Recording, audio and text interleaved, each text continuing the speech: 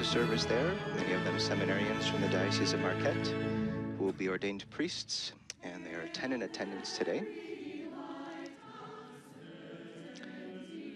The Knights and Ladies of the Holy Sepulchre, one of the fraternal and organizations of the Catholic Church. And beginning now, we have the, all the deacons of the Diocese of Marquette processing in.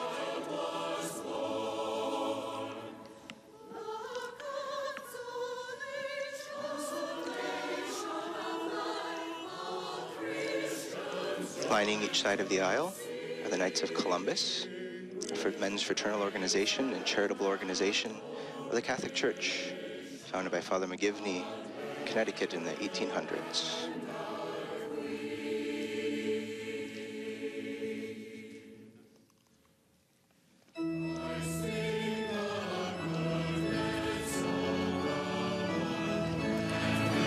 Deacon Mike Greska of the Diocese of Green Bay. See there carrying in the Book of the Gospels. We'll proclaim the Gospel today.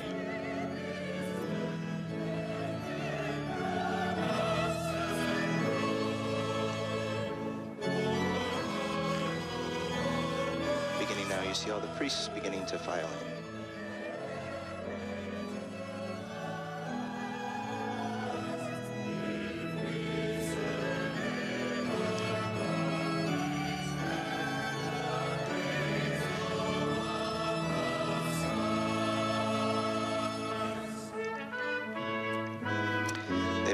Altar, they kiss the altar, a symbol of Christ, the foundation of the church.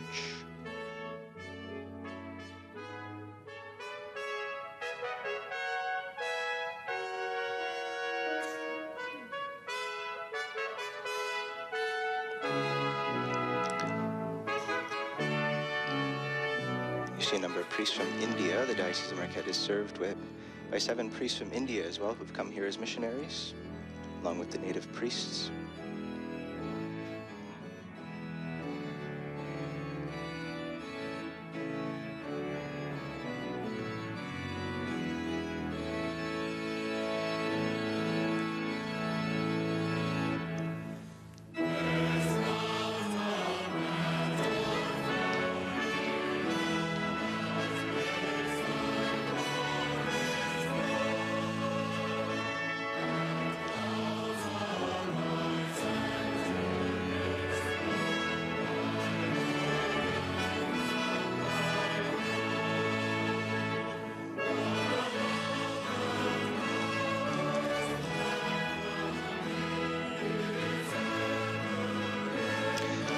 Today, over 700 people in gathering. They're packed in and singing beautifully this song, I Sing the Mighty Power of God.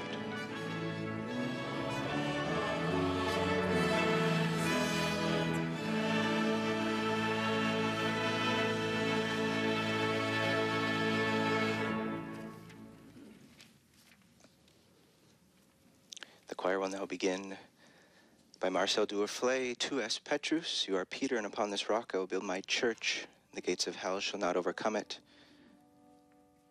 St. Peter is the patron saint of the Diocese of Marquette and of our cathedral.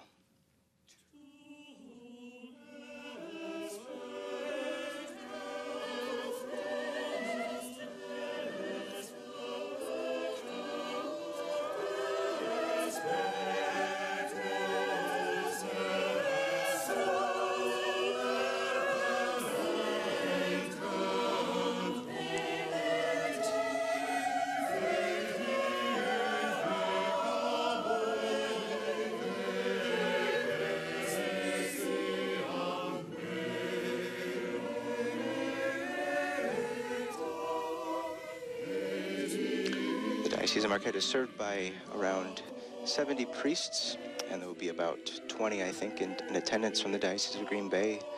Close to 100 priests here for this celebration.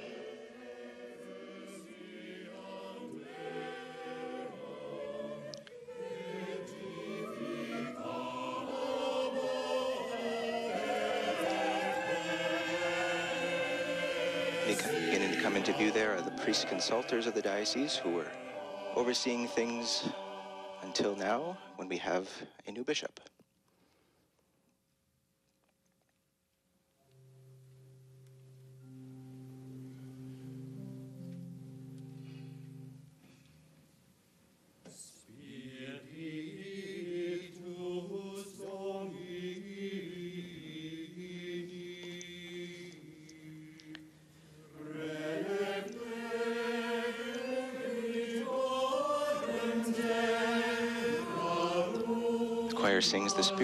Has filled the whole world, and that which contains all things understands what is said.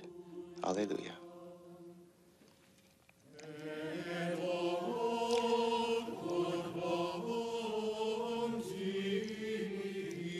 Bishops coming in there. The bishop from Baker, Oregon, as well as Bishop Francis Reiss from Detroit. Number bishops from throughout the Midwest. Bishop Joseph Cistone from Saginaw. Bishop Monforton from Ohio, Steubenville, Ohio. Kalamazoo. Bishop Boyea of Lansing. Bishop Meyer, Archbishop Myers of Newark, New Jersey. There's Bishop Zubik from the Diocese of Pittsburgh, who will give today's homily. Bishop Garland, uh, Bishop Emeritus of the Diocese of Marquette. And there's Archbishop Vigano, papal representative to the United States. He's followed by Archbishop Sample of Portland, Oregon, the previous Bishop of Marquette, who will be a co-consecrator, along with behind him Bishop Ricken of the Diocese of Green Bay. And there is soon to be Bishop John Doerfler, escorted by Father Joe Gua, the oldest active serving priest in the diocese, and Father Martin Flynn, the newest ordained priest two years ago. And the two will serve today as Bishop-elect Doerfler's assistants during the orientation and ord ordination.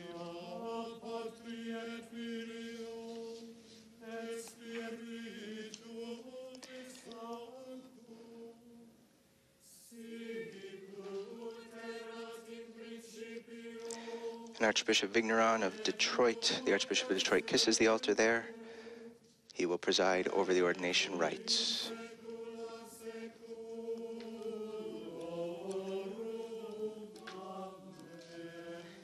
Taking his seat at the cathedra. And that is the name of the seat by which the name uh, cathedral comes. It's the seat of the bishop. And he will hand that over to Bishop Doerfler after his ordination.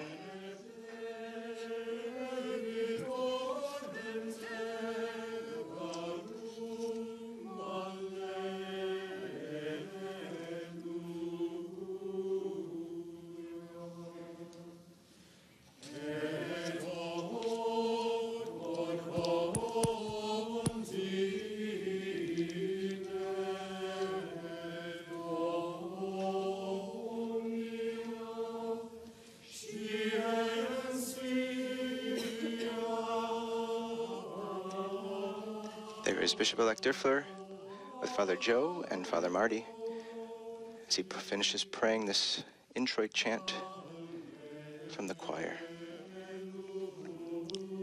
We can all pray for him now, say some prayers, that the Spirit may be outpoured upon him as he takes up his leadership of the Diocese of Marquette.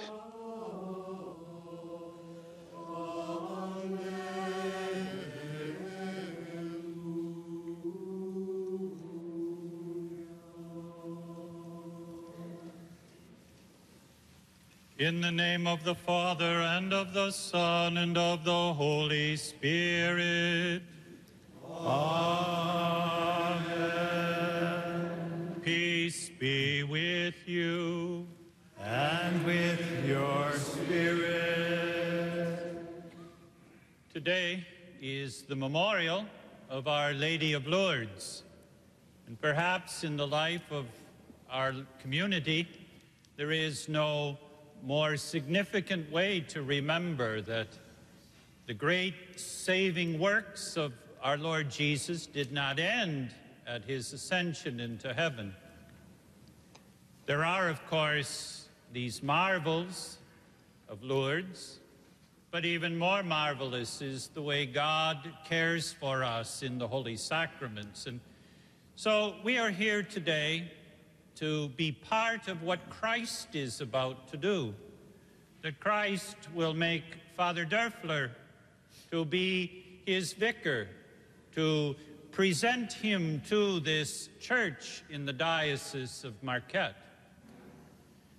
We are then able to be part of this grace to praise God that your diocese has a new shepherd, A particular blessing is that His Excellency, the Nuncio, Archbishop Vigano, is here.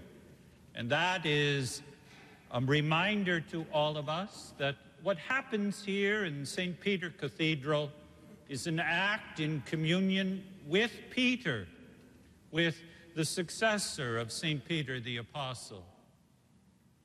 All of this to say that the faithful of this diocese have all the riches of grace that the apostles and the first Christians had. So we must be well prepared to enter into these mysteries. Let us acknowledge our sins and so prepare ourselves to celebrate the sacred mysteries.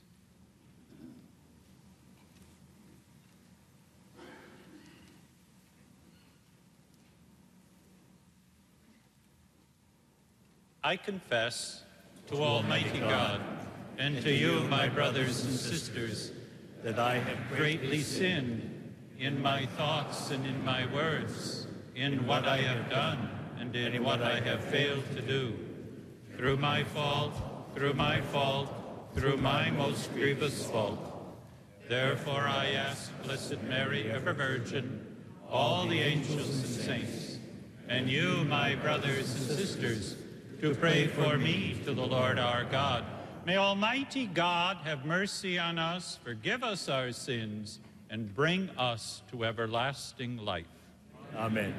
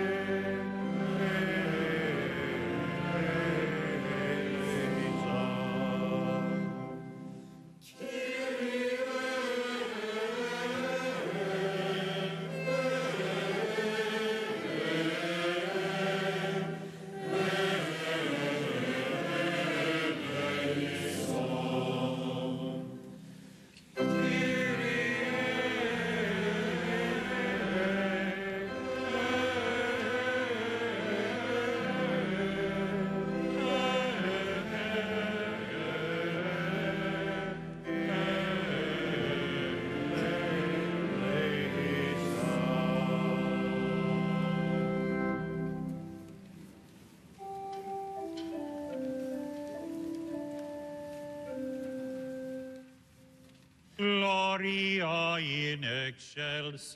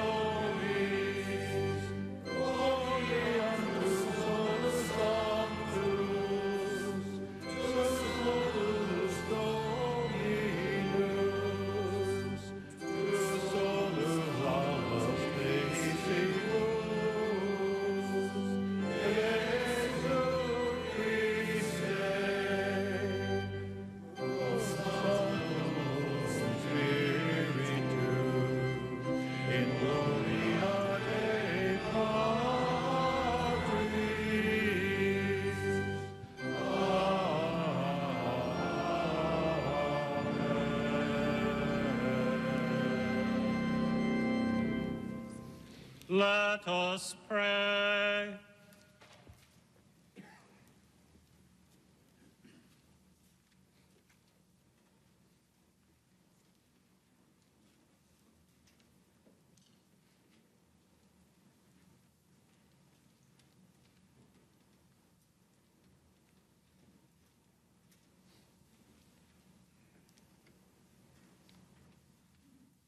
O God, who out of the abundance of your untold grace alone.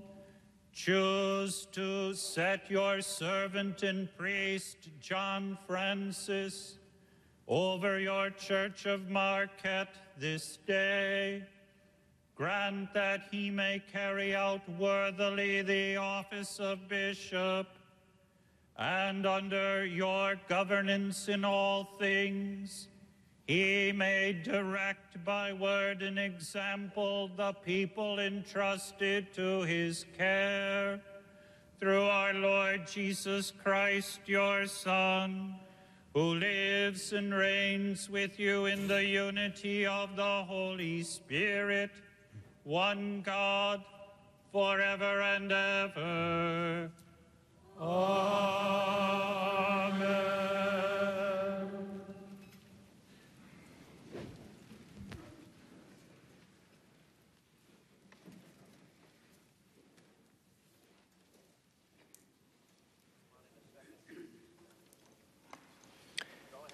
Archbishop Allen Vigneron of Detroit leading the congregation in a prayer for Bishop elect John Doerfler. And now the reading from God's Word will be proclaimed from the prophet Isaiah, from the second letter of St. Timothy, and the Gospel of John. A reading from the book of the prophet Isaiah. The Spirit of the Lord God is upon me, because the Lord has anointed me. He has sent me to bring glad tidings to the lowly, to heal the brokenhearted, to proclaim liberty to the captives and release to the prisoners, to announce a year of favor from the Lord and a day of vindication by our God, to comfort all who mourn, to place on all who mourn in Zion a diadem instead of ashes, to give them oil of gladness in place of mourning, a glorious mantle instead of a listless spirit. The word of the Lord. Thanks be to God.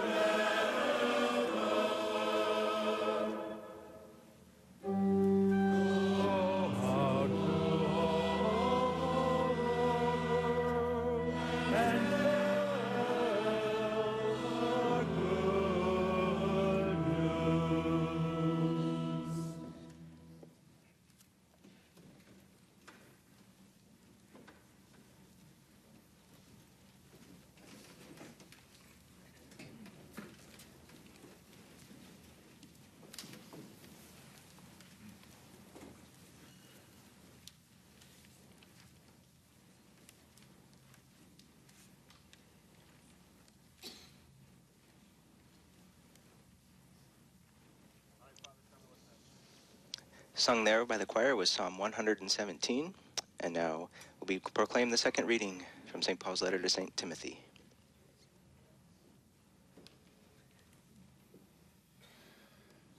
A reading from the second letter of St. Paul to Timothy.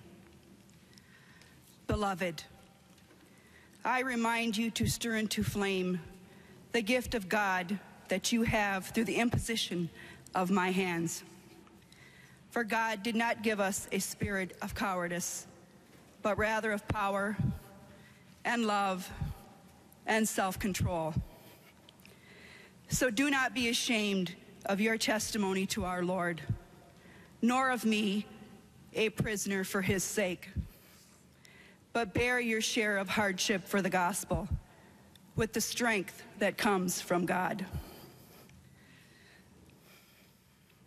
He saved us and called us to a holy life, not according to our works, but according to his own design, and the grace bestowed on us in Christ Jesus before time began, but now made manifest through the appearance of our Savior, Christ Jesus, who destroyed death and brought life and immortality to light through the gospel, for which I was appointed preacher and apostle and teacher.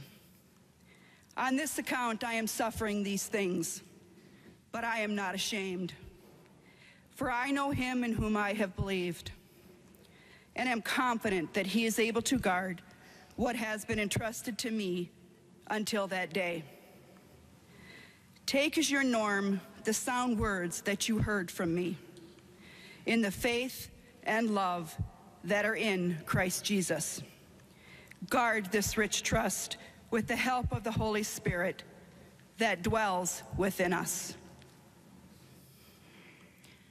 The word of the Lord. Thanks be to God.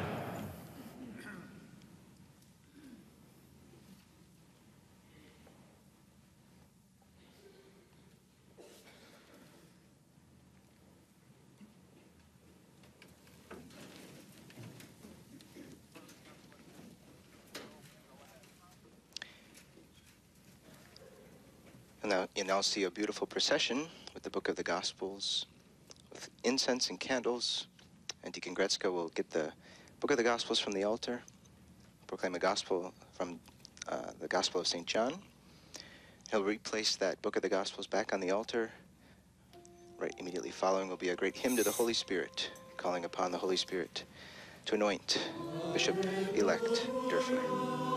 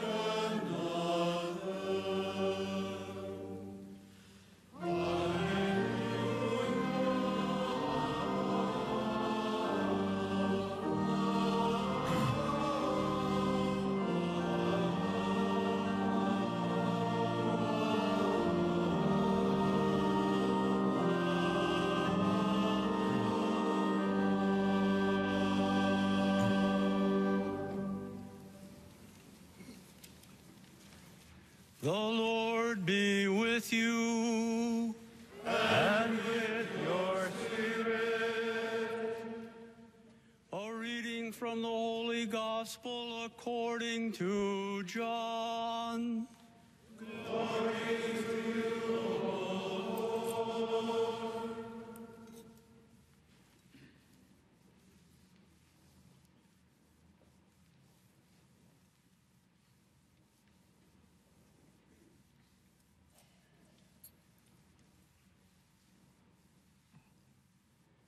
Jesus said to his disciples, As the Father loves me, so I also love you.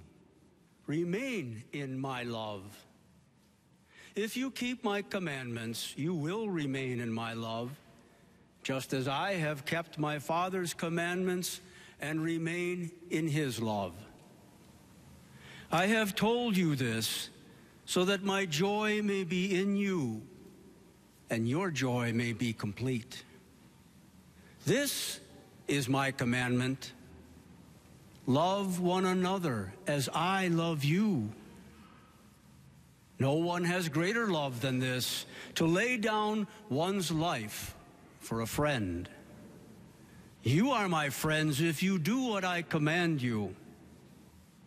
I no longer call you slaves because a slave does not know what his master is doing. I have called you friends because I have told you everything I have heard from my Father. It was not you who chose me, but I who chose you and appointed you to go and bear fruit that will remain, so that whatever you ask the Father in my name, he may give you. This I command you love one another. The Gospel of the Lord. Praise to Lord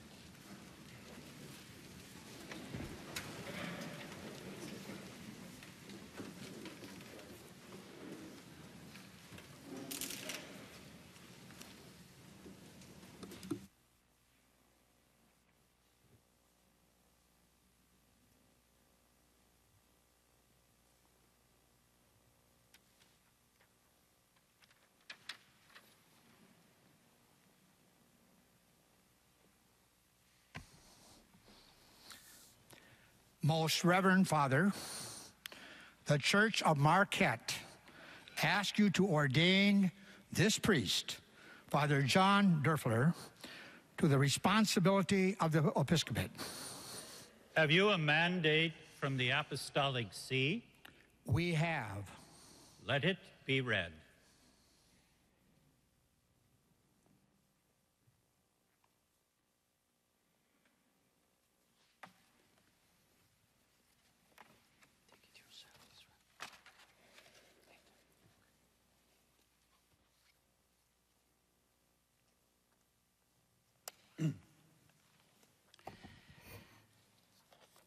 Your Excellency, Metropolitan Archbishop Vigneron, Your Excellencies Archbishop Sample, Bishop Ricken, Bishop Garland, Bishop-elect Doerfler, my brothers, archbishops and bishops, dear priests, deacons, consecrated religious and lay faithful of the Diocese of Marquette, dear friends, peace and joy to each of you. As a personal representative of His Holiness Pope Francis in the United States of America, I am truly pleased to be here today in this historic and vast diocese whose roots go back more than 160 years and whose first bishop, Irenaeus Frederick Baraga, was declared venerable by then Pope Benedict XVI on 2012. On this memorial of Our Lady of Lourdes, a day also designated as World Day of the Sick,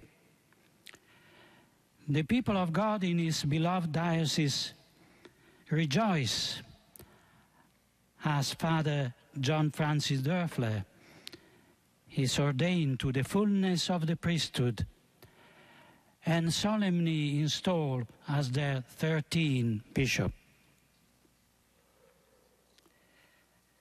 Your Excellency Bishop-elect Doerfler,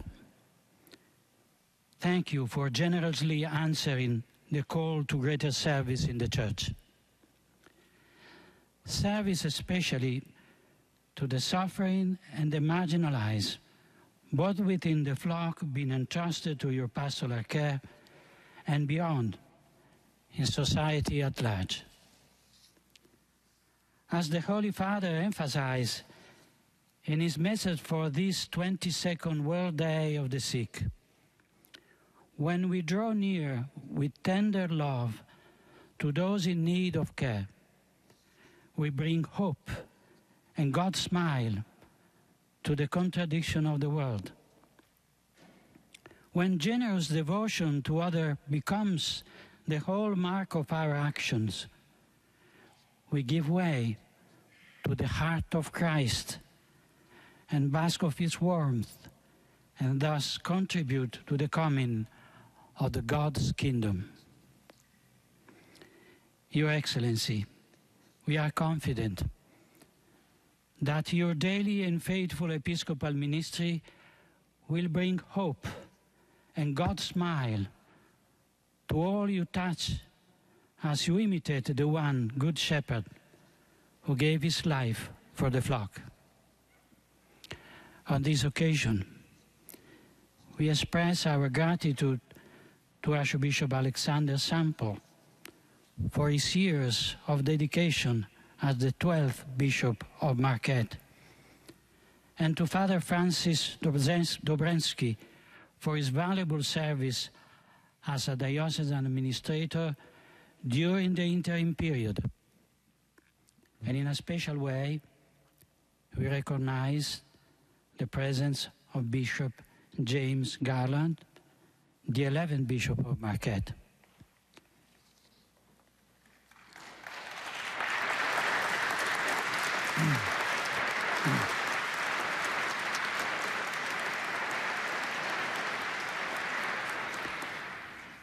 And now I will read for you the letter of appointment. Francis, Bishop, servant of the servants of God. To our beloved son, John Francis Doerfler, from the clergy of the Diocese of Green Bay, and also Vicar General there, appointed Bishop of Marquette. Greetings and apostolic blessing.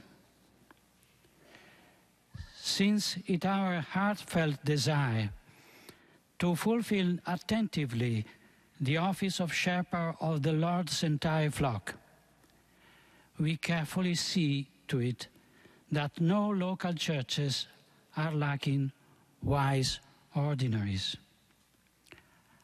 Accordingly, at this time, we turn our thoughts to the See of Marquette, currently in need for a bishop, since its government was relinquished by our venerable brother Alexander King Sample, was transferred to guide the Metropolitan Archdiocese of Portland in Oregon.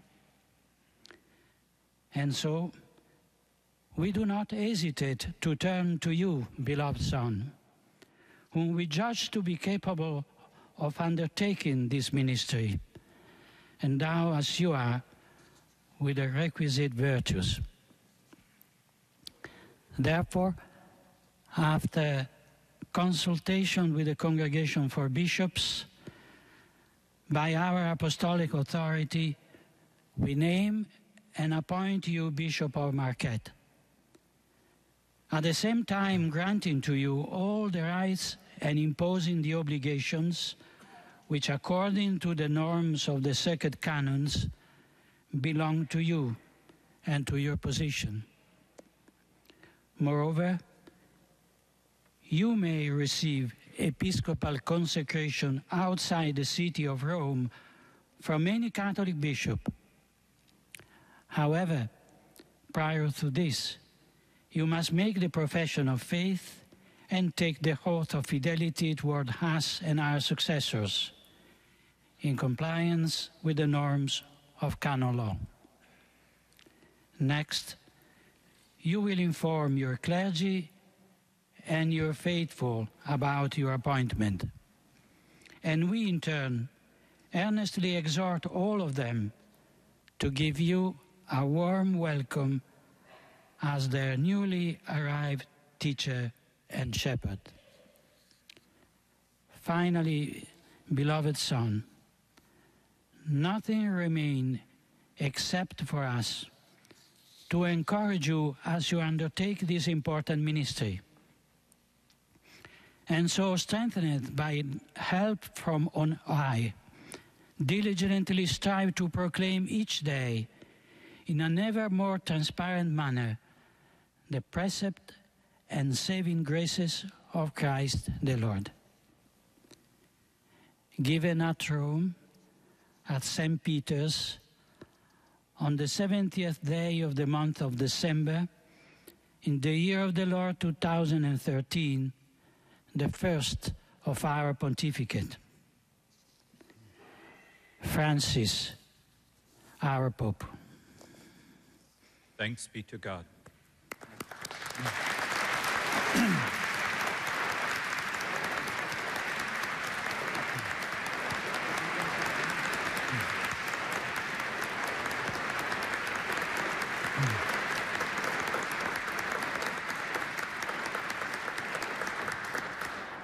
Let the College of Consultors examine the apostolic mandate.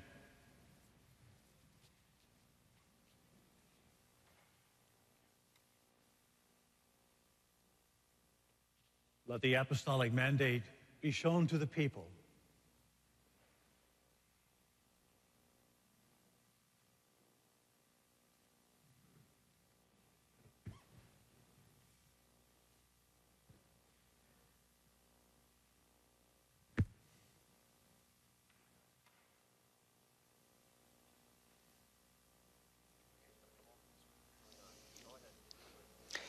That was Archbishop Vigano, the papal nuncio, reading the mandate appointing Bishop John Doerfler, Bishop of Diocese of Marquette.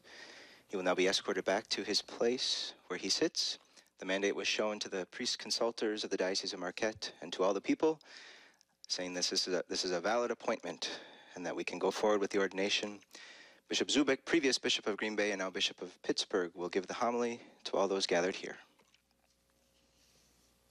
First of all, Archbishop Vigano, please know that on behalf of everyone who has gathered together in this magnificent cathedral today, we need to tell you what an honor it is to be with you because when we are with you, we are with our Holy Father. And so please uh, share with our Holy Father our fervent prayers for him as he continues to lead not only the church, but the world in the ways of holiness. To you, uh, my brother John, personally, I am so very proud of you today. It was 10 years ago that you and I began to work together as we uh, sought to serve so well the people of Green Bay. And over the course of these 10 years, I've seen you grow in wisdom, knowledge, and grace. And certainly on behalf not only of the nuncio, but everyone in this cathedral, thank you for saying yes to the Lord's call to you. To all of you who are here today, most especially the people of the Church of Marquette, thank you for being uh, so committed to being the church as the body of Christ and all of your words and deeds. And finally, I know that all of you will want to join with me in recognizing another very group of very important group of people who are here today. For this is the second time in the nearly 161 year history of the Diocese of Marquette that the Holy Spirit has chosen a priest from the Diocese of Green Bay. And so I ask all of those people from Green Bay if you would please stand so that we could thank you for this great gift.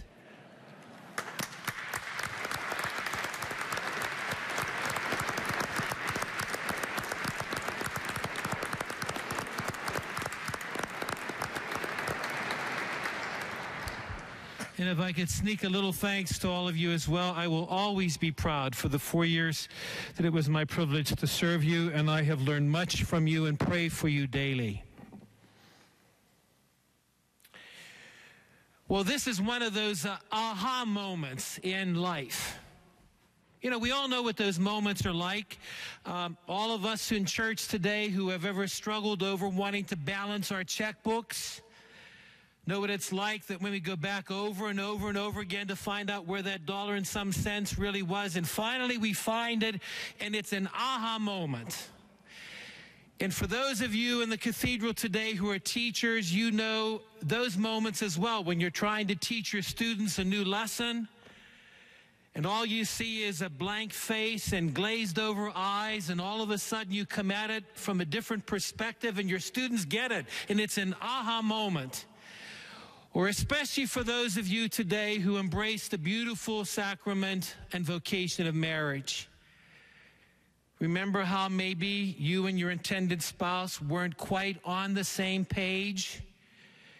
And you were hoping that either he or she would notice the great love you had for them, and all of a sudden, the aha moment, and you both fell in love and became husband and wife. And the same thing for parents trying to teach your children, your daughters and sons to take life seriously. And as much as you try to teach them, the less they seem to heed your words. And all of a sudden, they turn that corner and it's an aha moment. Well, my sisters and brothers, I think today is a time for us to pause at this aha moment for the church. And it's so very important for us to recognize that moment within the context of the power of God's word that we have heard today. Not only that we hear the power of that word, but that we know what it means to embrace it. Picture, if you will, with me what it must have been like for those apostles to be seated with the Lord at that Last Supper table hearing Jesus speak those words that we've heard proclaimed here today I call you not slaves, but friends. And he spoke about what it meant to be a friend, to lay down one's life.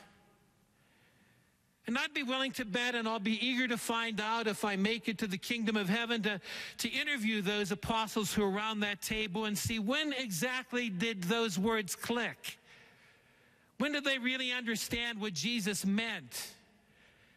And I'll be willing to bet it didn't happen until after the crucifixion and after the resurrection. In that aha moment, when the apostles recognized what Jesus was asking of them, and we know that they embraced those words because the story of the unfolding of the church and the Acts of the Apostles proves it to be so. And what about that young man, Timothy? Not unlike our soon to be ordained bishop,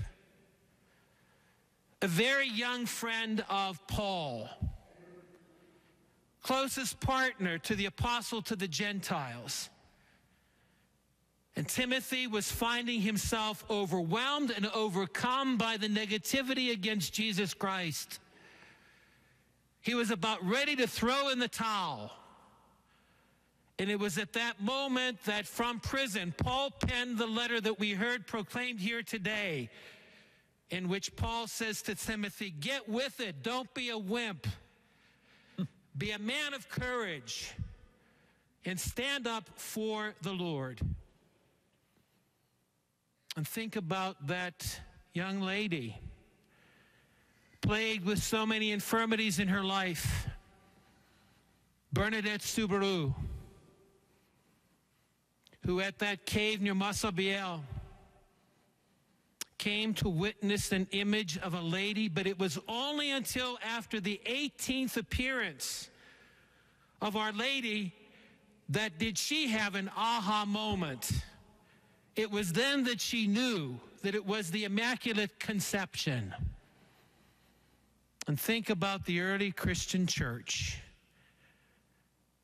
being weaned, if you will, strengthened, nourished, nurtured by not only the New Testament, but coming to understand the message of the old and how they came to understand that passage from the 61st chapter of the prophet Isaiah, recognizing that the mantle that is placed upon us as people is meant to cause us and call us to be a people of joy. Evangelii Gaudium. And so today, my sisters and brothers, this is an aha moment for us as the church and especially the church of Marquette. For 13 times in the nearly 161 years of your history, have you welcomed a new shepherd? And over the course of all these years, through Bishop Baraga and Bishop Mrak and Bishop Vertin and Bishop Eis and Bishop Nussbaum and Bishop Plagens and Bishop Magner and Bishop Noa, Bishop Salatka, Bishop Schmitt, Bishop Garland, Bishop Sample, and now soon to be Bishop Doerfler. We, you, the church, experience those aha moments of where the power of the Holy Spirit is carrying you forth. And clearly, the history of this local church is, in fact, historic. For nearly 350 years, the members of the Society of Jesus came to this land to evangelize the native peoples. Who could ever forget in the history of the United States, the church in the United States, that uh, back in uh, 1641, the man who had become saint, Isaac Jogues, celebrated the very first Holy Mass for the native peoples. And who could ever doubt that the power of God's Spirit, bringing us forth since this local church was established su- such in 1853, continues to work in and through us? In a few short moments, through the powerful ritual of the church, we will see my brother, your brother, our brother John, become shepherd of this local church. In fact, an aha moment. And I would dare say it is a moment for us to be a people who recognize Evangelii Gaudium, the joy of the gospel. For the charge which our brother John receives today is clearly to follow in the footsteps of those first apostles. Our brother John today and every day until he breathes his last is called to do what Jesus did, what the apostles were challenged to do, and what he must do to be able to lay down his life for Christ's people. On this day, through the power of God's word, our brother today hears those words. As you take on the leadership of this local church, don't be a wimp. Be a man of courage. Stand up for all of those things that we believe in as Catholics and especially preserve the absolute dignity of human life and the absolute protection of God's sacred treasure of holy matrimony. Today, our brother who receives the mantle of leadership is reminded with all of us that to be followers of the dear Lord is in fact a mantle of joy that must be evidenced in our words and in our deeds. Yes, my sisters and brothers in Christ, today is an aha moment an aha moment when we can be proud to be Catholics, an aha moment in which we hear the Lord Jesus call us forth by the guidance of His Holy Spirit, and an aha moment when we are called to be a people of Evangelii Gaudium, a people who carry forth in words and deeds the joy of the gospel.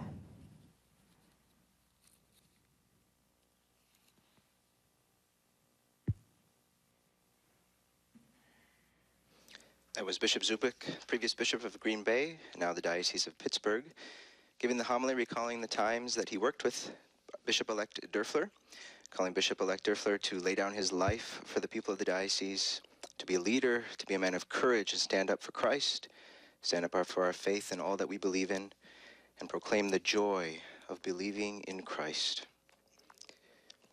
You're watching exclusive live coverage of the ordination and installation of Father John F. Doerfler as the 13th Bishop of the Diocese of Marquette on WJMN TV.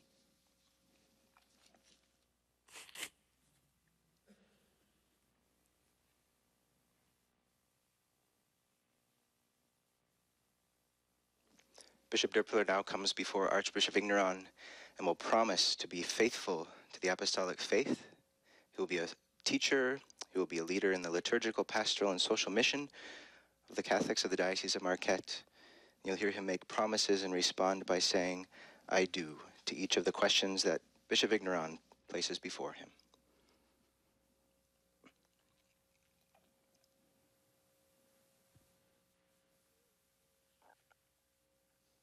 The ancient rule of the Holy Fathers ordains that a bishop elect is to be questioned in the presence of the people on his resolve to uphold the faith and to discharge his duty. And so, dear brother, do you resolve by the grace of the Holy Spirit to discharge until death the office entrusted to you by the entrusted to us by the apostles? Which we are about to pass on to you by the laying on of our hands. I do. Do you resolve to preach the gospel of Christ with constancy and fidelity? I do. Do you resolve to guard the deposit of faith entire and incorrupt, as handed down by the apostles and preserved in the church everywhere and at all times? I do. Do you resolve to build up the body of Christ, his church, and to remain in the unity of that body together with the order of bishops under the authority of the successor of St. Peter the Apostle? I do.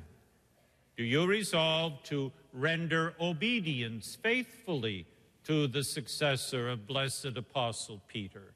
I do. Do you resolve to guide the holy people of God in the way of salvation as a devoted father and sustain them with the help of your fellow ministers, the priests and deacons?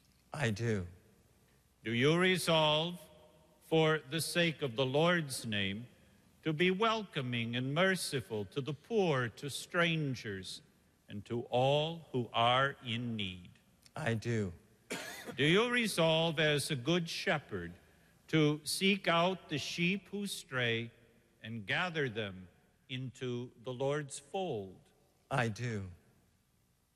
Do you resolve to pray without ceasing to Almighty God for the holy people and to carry out the office of high priest without reproach? I do with the help of God. May God, who has begun the good work in you, bring it to fulfillment. Please stand.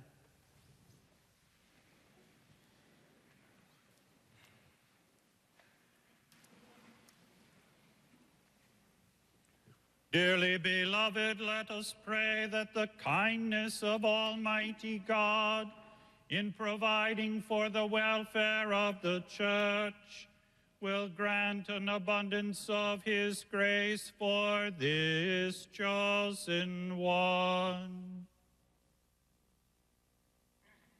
Let us kneel.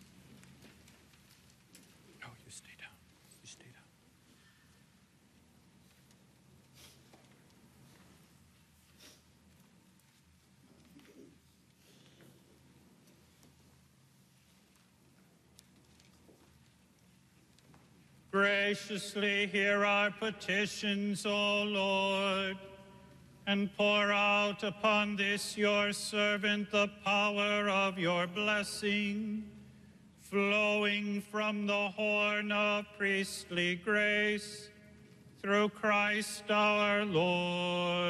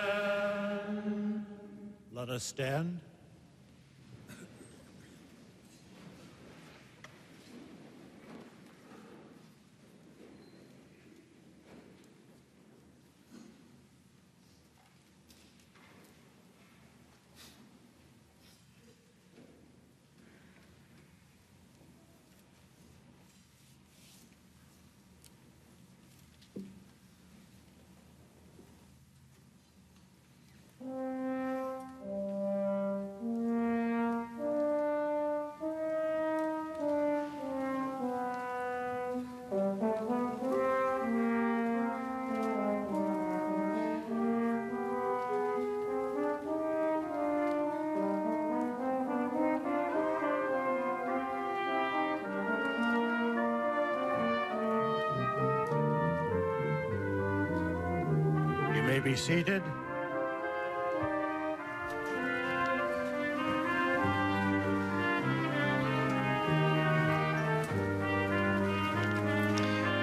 Now come to the heart of the ordination rite when all the bishops present will lay their hands upon the head of Bishop-elect Doerfler.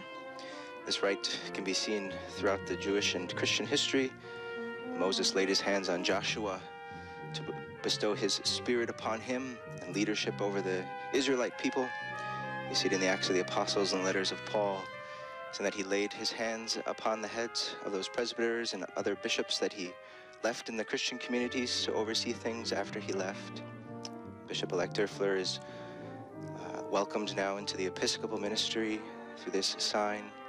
It's really a beautiful sign showing that we don't take upon this office of bishop or priest by ourselves. It comes to us from outside of us, from Jesus, handed down by the apostles. All the bishops down from the apostles have had their hands laid upon their head by those who have gone before them. After this, he will, uh, Archbishop Vigneron will pray the prayer of ordination. And at that point, Bishop-elect Doerfler will be Bishop Doerfler, and then he'll be anointed with the sacred chrism.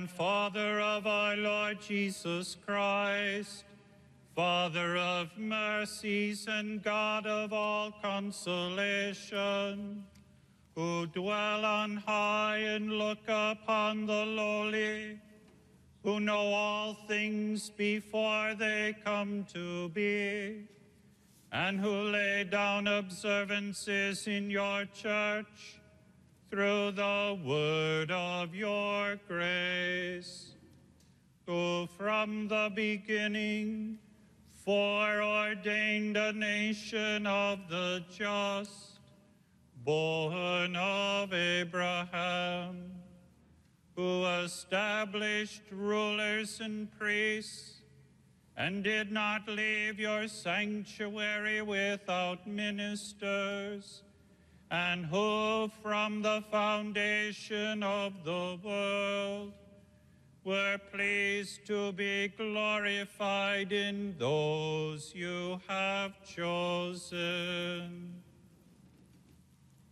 Pour out now upon this chosen one that power which is from you, the governing spirit, whom you gave to your beloved Son, Jesus Christ, the Spirit whom you bestowed upon the holy apostles, who established the church in each place as your sanctuary, for the glory and unceasing praise of your name.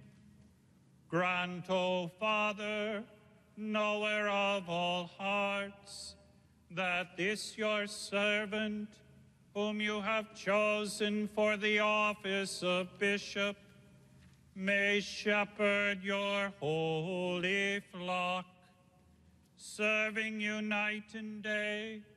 May he fulfill before you without reproach the ministry of the high priesthood, so that always gaining your favor, he may offer up the gifts of your holy church.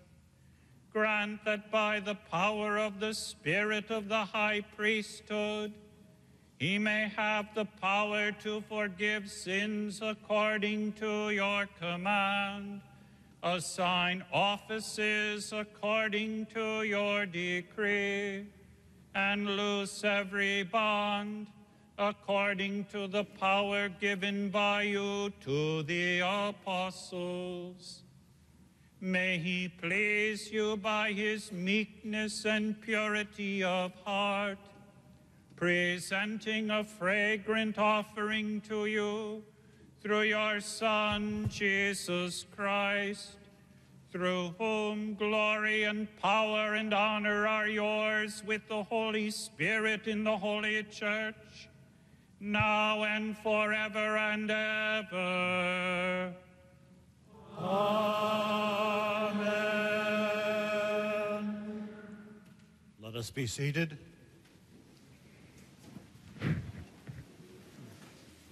saw the deacons holding the book of the Gospels there over Bishop Doerfler's head. Uh, it's been a part of the ordination rite from the earliest centuries, a sign that his ministry is founded on the Gospel, founded on the Word of God. And he is now a bishop and will be anointed with the sacred chrism by Archbishop Vigneron, a sign of the anointing of the Holy Spirit that will now be prayed upon him, that he might be the leader and the man of courage to shepherd and lead the Diocese of Marquette according to God's will, according to God's commands.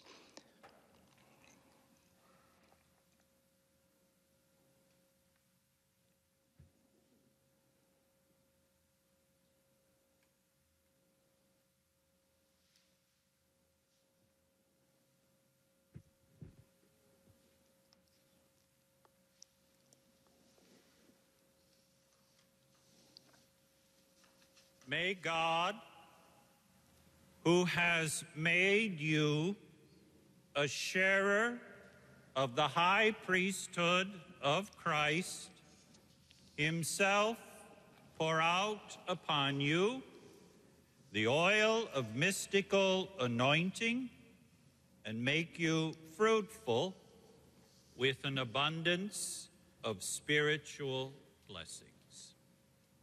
Amen.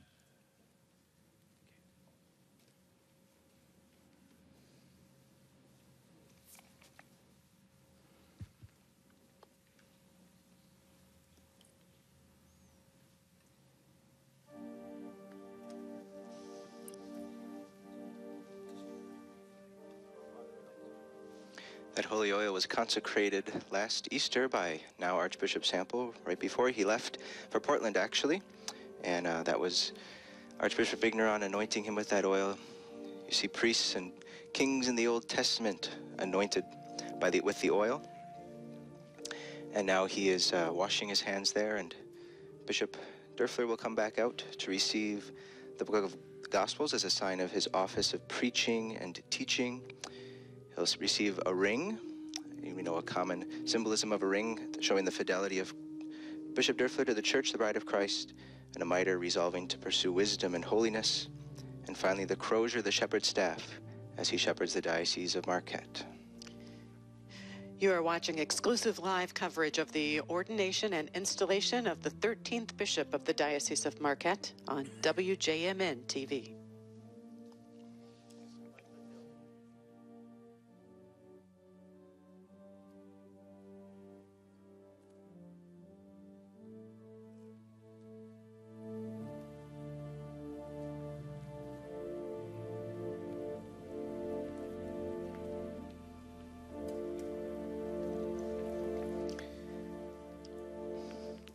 You'll see Bishop Doerfler being led out once more by Father Gua and Father Flynn.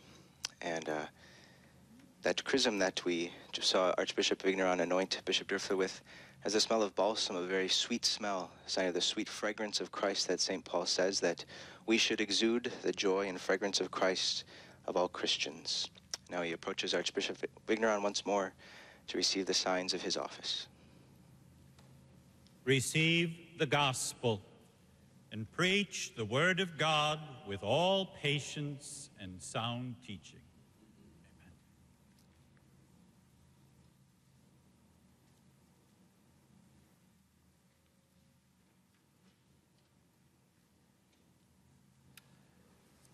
Receive this ring, the seal of fidelity, adorned with undefiled faith, preserve unblemished the bride of God, the Holy Church.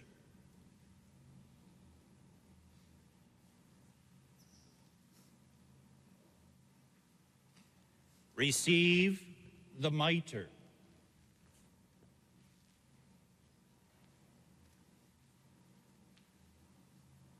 And may the splendor of holiness shine forth in you, so that when the chief shepherd appears, you may deserve to receive from him an unfading crown of glory.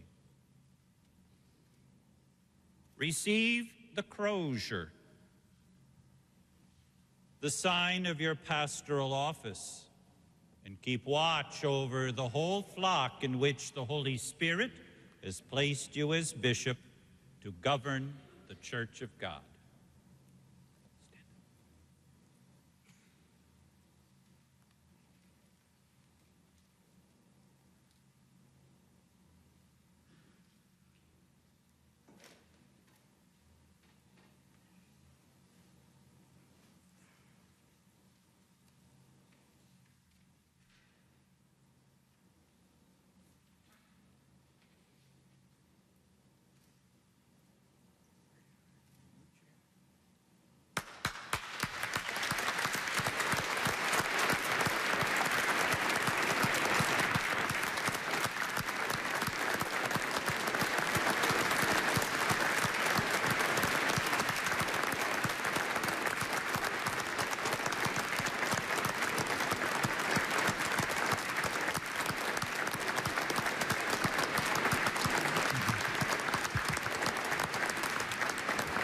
Doerfler escorted to the cathedra, the bishop's seat, his chair in his cathedral church by Archbishop Vigneron. That uh, cathedra is a sign of the unity that the bishop is to foster among all the, all the people of the Diocese of Marquette. And now he'll receive the kiss of peace from all the bishops here present, a sign of his sealing of his welcome into the ministry of a bishop and his communion with all those bishops who are here from the region and indeed the whole world as he receives their Archbishop Vigano the Papal Nuncio.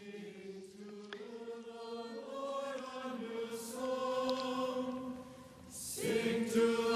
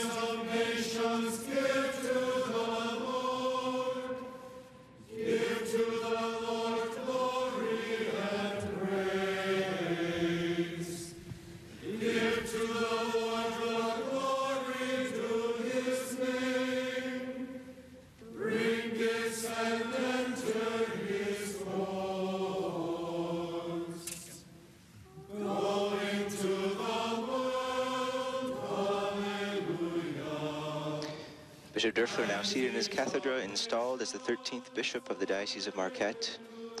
Now he will preside the rest of the time over the liturgy of the Eucharist, the heart of our, our Christian celebration of Christ present among us.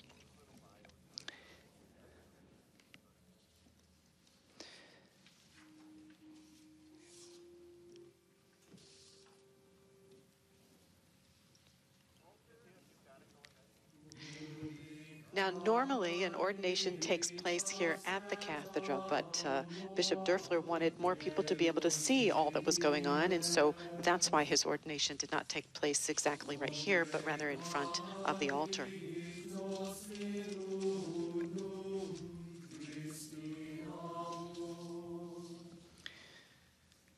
Bishop Doerfler, grew, Bishop grew up in Appleton. He's a priest of the Diocese of Marquette. He was educated at the seminary in the North American College in, in Rome. And then he came back to be ordained a priest of the Diocese of Green Bay. Then he went back to study again in Rome for his canon law studies and also um, moral theology. Particularly, he has a specialty in medical ethics and has written many, published many works on medical ethics. And uh, he is there, very happy, I'm sure, with his family and friends present, and all the people of the Diocese of Marquette and priests. The gifts are about to be brought up right now and given to him, the gifts of bread and wine, presented by his brother Thomas, his sister-in-law Lisa, nephew Brian, his past secretaries Pat Von Hayden and Mary Jo Kruger. They'll be brought up as the deacons will receive the gifts that uh, are given to him. There they come right there. That gift of bread, one of the great symbols that, that Christ used. Bread, of course, coming from a seed of wheat that dies, is buried in the ground and grows to new life. And by the work of human hands is brought as bread to the altar, becomes the body of Christ. Grapes are taken from the vine and transformed through fermentation to become wine, just like Christ has transformed death into new life through his resurrection and become his precious blood choir sings Ubi Caritas, where charity and love are, God is there, by Marcel Duruflé.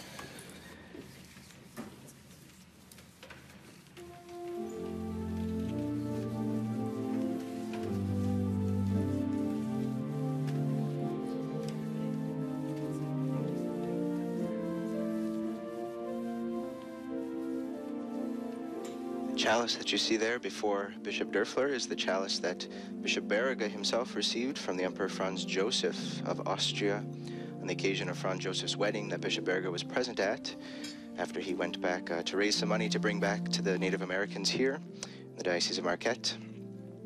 There's also chalices from the history of the diocese. Bishop Frederick Eis's chalice, Bishop Mark Schmitt, who was also from the Diocese of Green Bay, Father James Lenhart, Father Howard Brown, and the current rector of the cathedral, Monsignor Mike Stieber. as the deacons finish pouring the wine into the chalices. Bishop Doerfler will preside over this celebration of the Eucharist. Really, the fullness of the celebration as the bishop of the diocese presides with all of his priests and the people of the diocese, the fullness of our unity in Christ. Jesus' sacrifice at the cross, his resurrection and ascension into heaven, his true presence will be made present on the altar there. We can all who are watching join our own prayers and sacrifices that we make throughout the day and weeks. Join them to Christ's sacrifice on the cross and offer them with Him through Bishop Doerfler's hands to our God and Father. The incense here symbolizes our prayers and sacrifices joining with Christ, uniting them with Him, and offering them as a sweet smelling sacrifice to God.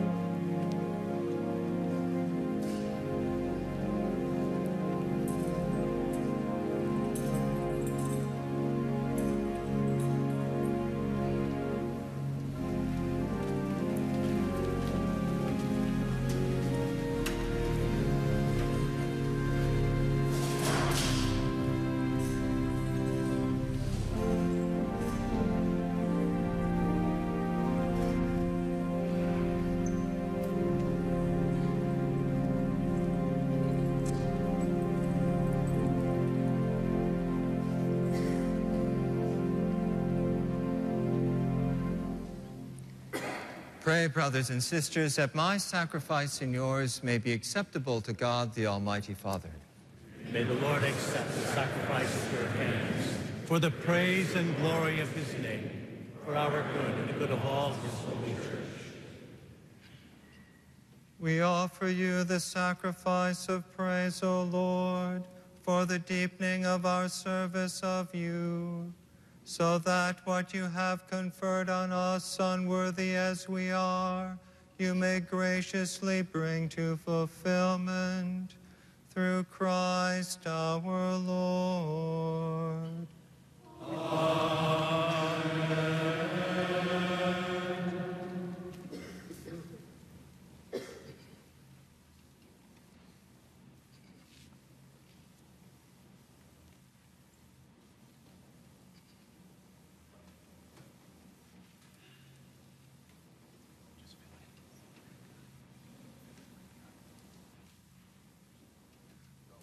The Lord be with you.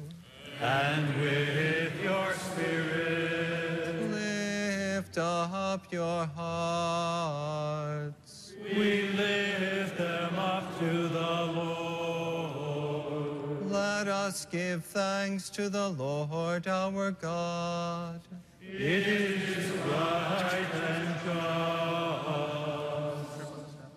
It is truly right and just, our duty and our salvation, always and everywhere to give you thanks. Lord, Holy Father, Almighty and Eternal God, for by the anointing of the Holy Spirit, you made your only begotten Son, high priest of the new and eternal covenant, and by your wondrous design were pleased to decree that this one priesthood should continue in the church. For Christ not only adorns with a royal priesthood the people he has made his own, but with a brother's kindness. He also chooses men to become sharers in his sacred ministry through the laying on of hands. They are to renew in his name the sacrifice of human redemption to set before your children the paschal banquet, to lead your holy people in charity, to nourish them with the word and strengthen them with the sacraments.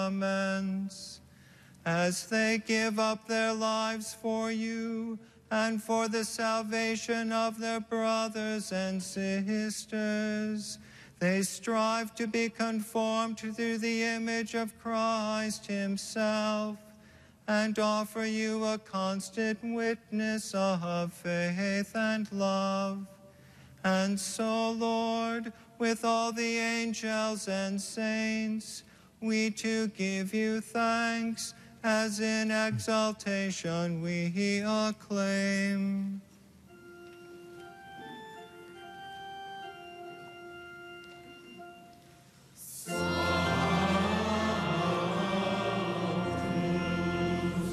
Salve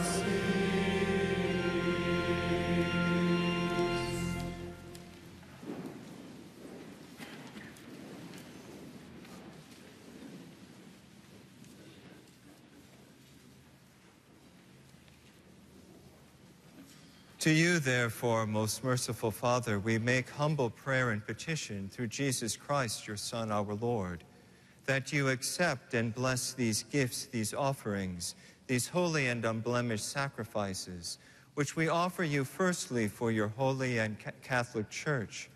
Be pleased to grant her peace, to guard, unite, and govern her throughout the whole world. Together with your servant Francis, our Pope, and me, your unworthy servant, and all those who, holding to the truth, hand on the Catholic and Apostolic faith. Remember, Lord, your servants.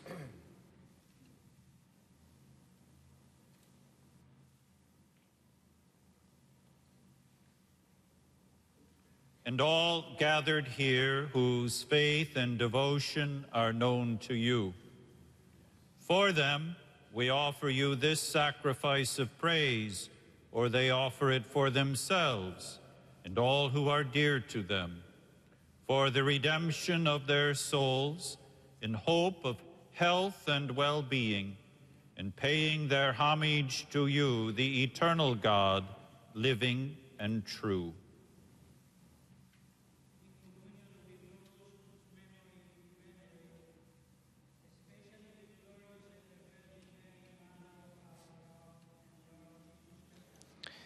The bishops are now taking turns leading the prayers of the Eucharist.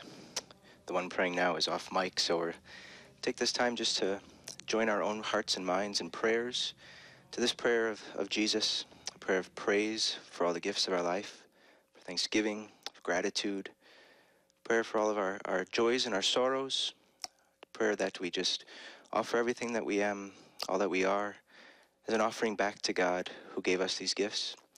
Bishop will now take the bread and take the wine and pray the prayer, the very words of Jesus, calling down the Holy Spirit to transform them into the body and blood of Christ, present on this altar here, and offering his through his hands once more to God the Father. Therefore, Lord, we pray, graciously accept this oblation of our service, that of your whole family which we make to you, also for me, your unworthy servant, whom you have been pleased to raise to the order of bishops. And in your mercy, keep safe your gifts in me, so that what I have received by divine commission, I may fulfill by divine assistance. Be pleased, O God, we pray, to bless, acknowledge, and approve this offering in every respect. Make it spiritual and acceptable so that it may become for us the body and blood of your most beloved Son, our Lord Jesus Christ. On the day before he was to suffer, he took bread in his holy and venerable hands, and with eyes raised up to heaven, to you, O God, his almighty Father, giving you thanks, he said the blessing, broke the bread, and gave it to his disciples, saying, Take this, all of you, and eat of it, for this is my body, which will be given up for you.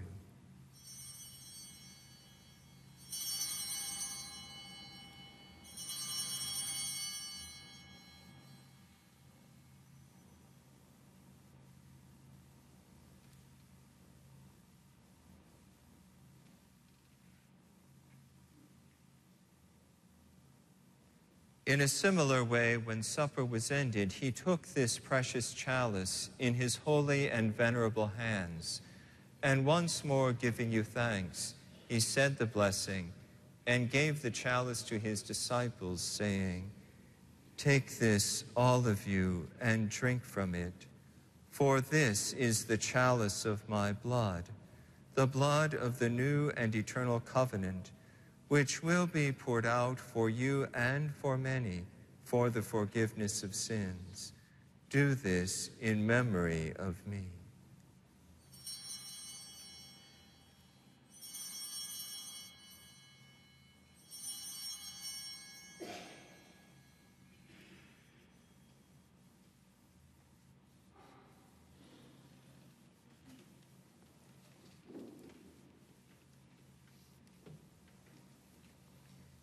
The mystery of faith.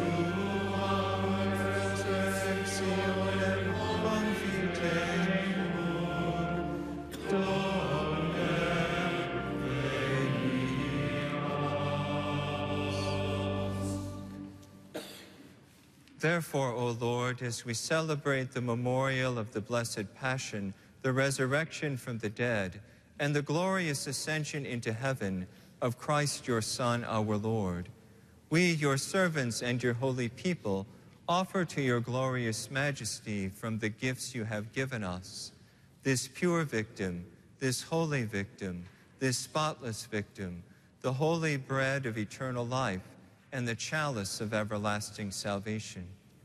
Be pleased to look upon these offerings with a serene and kindly countenance, and to accept them as once you were pleased to accept the gifts of your servant Abel the just, the sacrifice of Abraham, our father in faith, and the offering of your high priest Melchizedek, a holy sacrifice, a spotless victim. In humble prayer, we ask you, Almighty God, command that these gifts be borne by the hands of your holy angel to your altar on high, in the sight of your divine majesty, so that all of us who through this participation at the altar receive the most holy body and blood of your Son may be filled with every grace and heavenly blessing.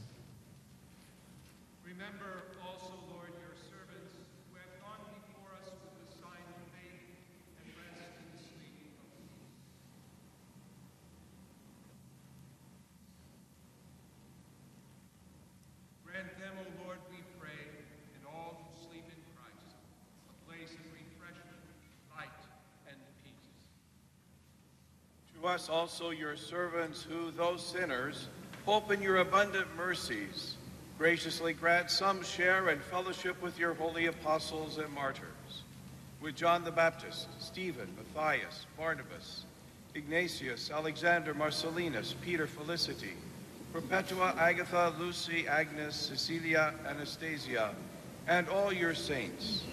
Admit us, we beseech you, into their company, not weighing our merits, but granting us your pardon through Christ our Lord. Through whom you continue to make all these good things, O Lord. You sanctify them, fill them with life, bless them, and bestow them upon us.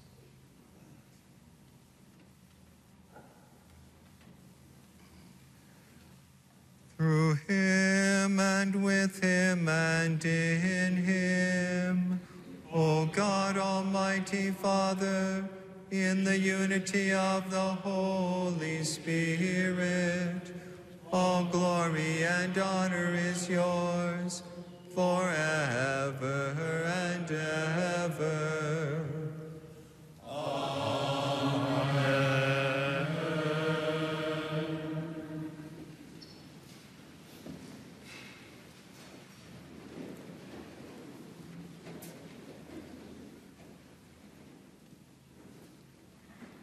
At the Savior's command and formed by divine teaching, we dare to say, Our, Father, who art in heaven, hallowed be thy name. Thy kingdom come, thy will be done, on earth as it is in heaven.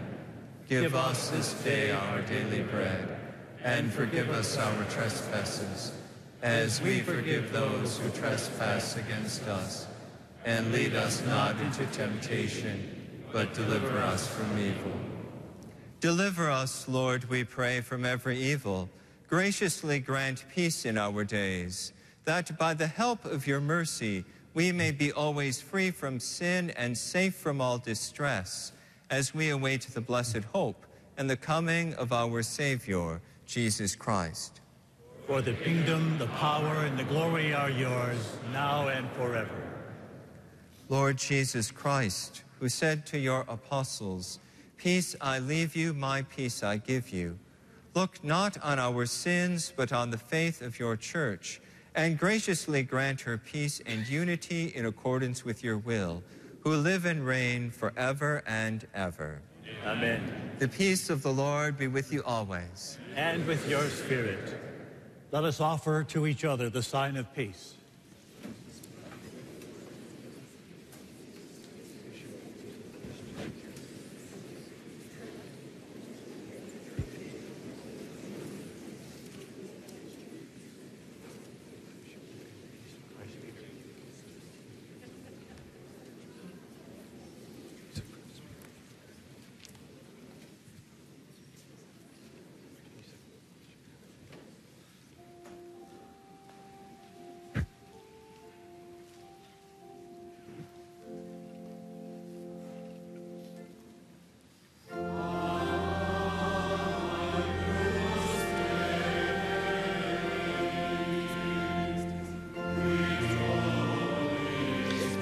Bishop Doerfler now offers the sign of peace to other religious leaders of the local area.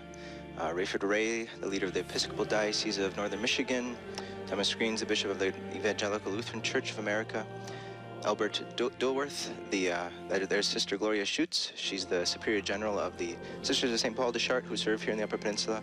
Father Louis Brackett, the oldest priest of the diocese. Father Jamie Zaminsky, a classmate of his, a couple deacons there who represent the deacon community in the diocese, and his mother, he goes to hug there. Jermaine Doerfler, the proud mother of Bishop John Doerfler, and his family there, his brother and his family smile on his face as he goes to greet them and offer Christ's peace, which he left at the Last Supper, his gift of peace, of charity. Also, Dr. Daniel Arnold is there, the representative of the Jewish community, and Albert Dilworth of the United Methodist Church. And now Bishop Doerfler will break the body and blood of Christ and uh, distribute it to all those gathered here, all the faithful gathered here. Receive Holy Communion, and through which the choir will sing some beautiful pieces of chant and a couple choral anthems, Panis Angelicus and Ave Maria.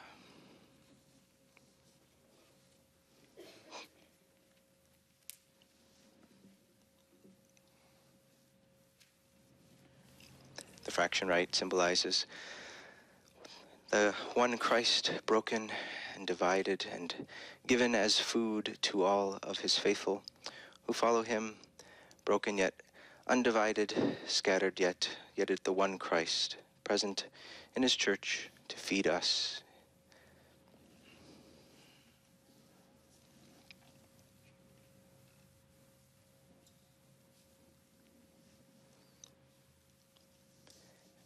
You'll see different bishops and different deacons come forward and receive those gold patens, those gold plates and ciboria filled with the sacred body and precious blood of Christ. They'll come down front and offer communion to all those who want to come forward to receive Holy Communion.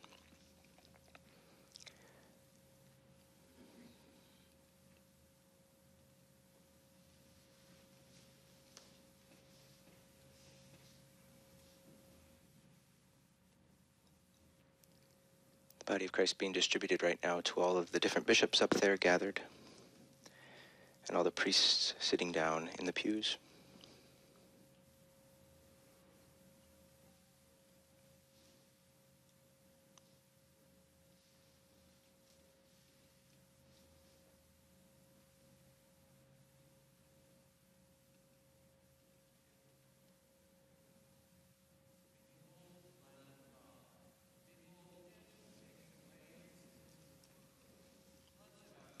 Bishop Doerfler saying, Behold the Lamb of God, behold Lord, him who takes away the sins of the world.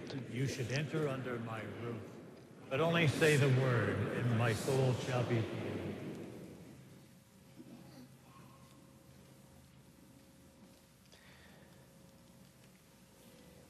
The choir will sing, I have chosen you from the world, that you should go and should bring forth fruit, and your fruit should remain. The words of Jesus.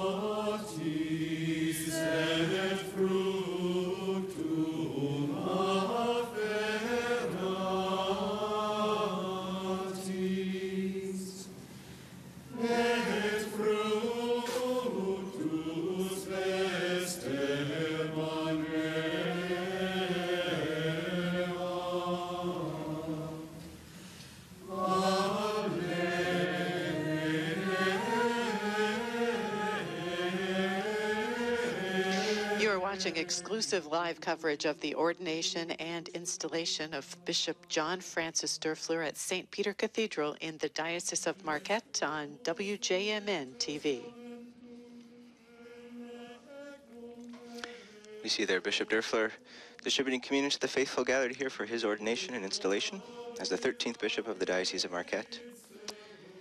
The first bishop of our diocese, uh, Bishop Frederick Baraga, was a great missionary here to Upper Michigan, came from Slovenia. He's uh, currently buried in the crypt chapel here at the here at St. Peter Cathedral. And uh, hopefully Bishop Doerfler will have an opportunity to oversee ultimately his beatification and hopefully canonization as St. Bishop Baraga as we pray for that. He's a great missionary to the Native Americans. Also, the Bishop, uh, Bishop Doerfler was giving the sign of peace. Also to um, Miss, uh, Miss Connie Sagatov, the Native American community here in the Upper Peninsula. We have a large Native American community at L'Anse, where Bishop Baraga served his first mission here up by Baraga and L'Anse in Upper Michigan, as well over uh, as on the east side of the diocese. And also present for that was uh, Mr. Robert Niemi, who's the mayor of Marquette. So uh, a community reach out there.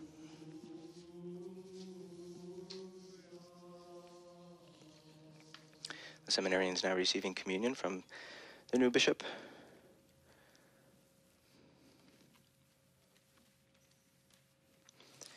The Diocese of Marquette was first founded by Bishop Baraga as the Diocese of Sault Ste. Marie over on the east side of the Upper Peninsula. Back in 1857, the title was moved to the Diocese of Marquette to uh, in uh, 1866 when Bishop Baraga decided to move closer to the center of the diocese since it's such a big diocese, so he could travel around more easily.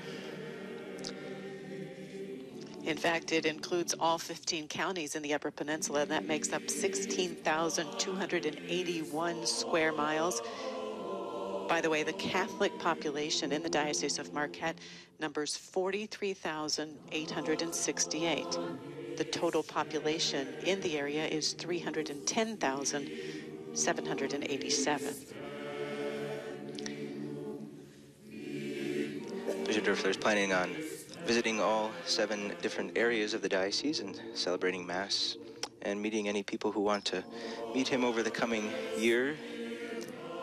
If you'll have an opportunity to meet him in person at one of those Masses and celebrations.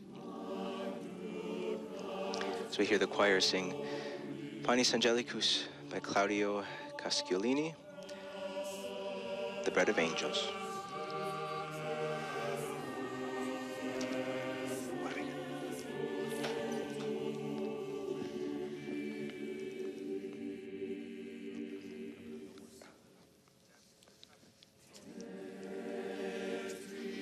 one of the areas that uh, he mentioned in a conversation I had with uh, then Bishop-elect Doerfler was uh, a desire in his heart to see faith really practiced in families uh, so that uh, as children grow up, they will continue that faith. And that's where his foundation was. And I see that uh, uh, most likely he will stretch that into the religious education with the high school students in the parish faith formation programs and the elementary students in parish faith formation programs across the Upper Peninsula. Yes, Bishop Doerfler is a um, very uh, teacher at heart, I've heard. Um, I got to meet him today for the first time, shake his hand and just say welcome and glad that he's our bishop. And uh, he's, many, by many accounts, people say that he's a teacher. And uh, he taught at the seminary before coming here. And he said that that was finally, he was feeling, you know, deep, deeply fulfilled as a teacher, which he had wanted to do for a long time. And he finally got to begin teaching at the seminary only for about three months before getting the call that he would be our new bishop. So, but now he has the office of teaching in our diocese, and I'm sure he will put that to very good use. Uh, just this past Saturday, we had the diocesan uh, rally for our, all of our middle school students here at the at St. Peter Cathedral who could make it. We had about uh, 400 students come, and uh, Bishop Doerfler now he spent an hour and a half just talking with the high, with the middle school students, uh, answering questions, playing his guitar and singing, and and uh, guiding them in a very good conversation about faith and what their faith means to them, how they can grow in their faith in Christ, and uh, actually also asking advice about how they could, how he could be a better better uh, better bishop. So it's kind of neat that he's taken that initiative and uh, he'll be able to put that uh, teaching skills to wonderful use here in the diocese. The teaching and the shepherding of that. Mm-hmm. Yes. You are watching exclusive coverage on WJMN TV of the ordination and installation of Bishop John F. Doerfler.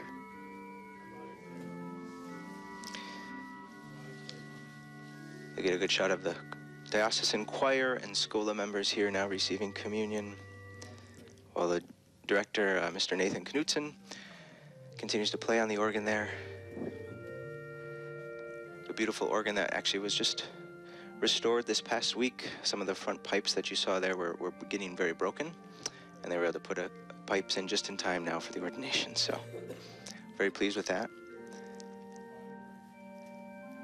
As you continue to see people come forward, we see this beautiful gift of the sacrament of Holy Communion. Jesus' is true presence, his body and blood among us, feeding us,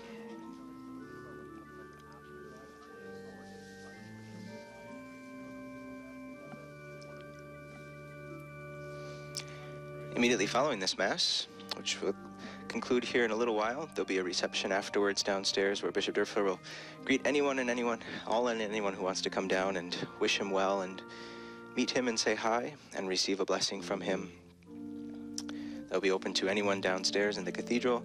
To come, they'll have some light refreshments. So just a good time of fellowship with people and all the priests from throughout the whole diocese gathered here on this beautiful sunny day.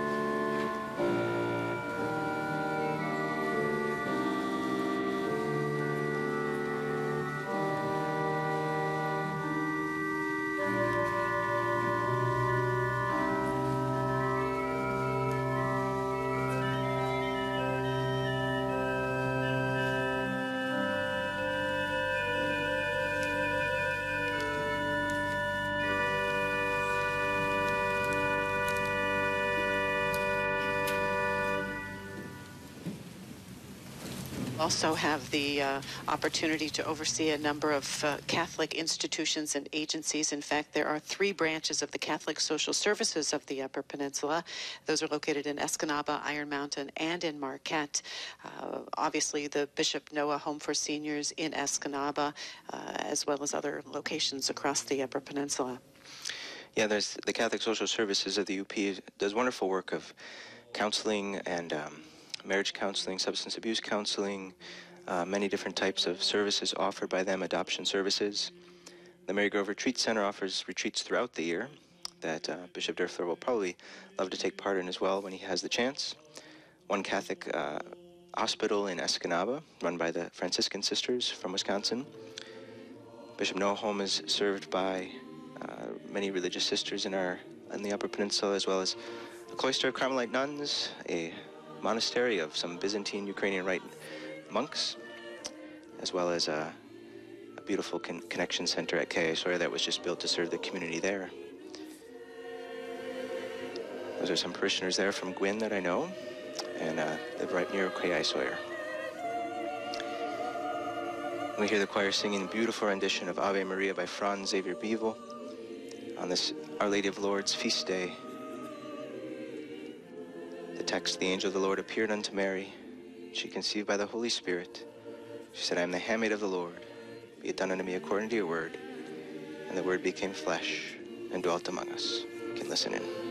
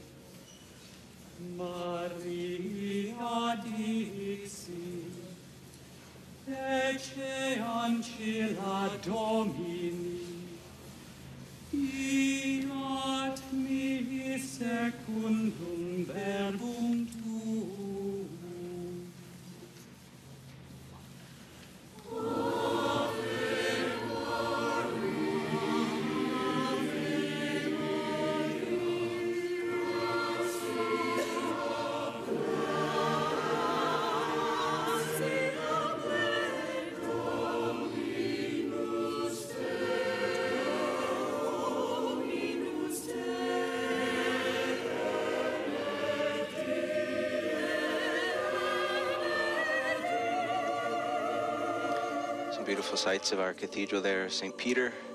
Stained glass windows came from Germany a long while back and survived the two fires that the cathedral has had that burned off the roof a couple times. Thankfully, those windows have been preserved. The beautiful mural you saw above the altar is of Jesus handing on the keys of the kingdom to St. Peter and saying, On this rock I will build my church, and the gates of hell shall not prevail against it.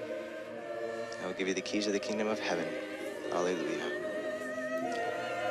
So in a special way, we have a devotion to St. Peter here in our diocese. He will allow us all to preserve that faith and hand it on to our, the next generation as we evangelize and bring that good, joy-filled news to all the people of the Upper Peninsula.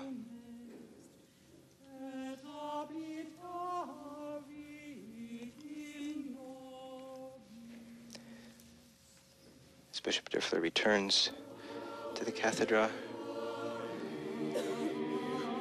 he will play a closing prayer. And then be escorted throughout the cathedral to give his first blessings to all gathered here by Archbishop Sample, the previous bishop, Bishop Ricken of Green Bay, with a beautiful hymn of thanksgiving, the Te Deum, with all the angels giving thanks for this beautiful day for our diocese, is sung by the choir.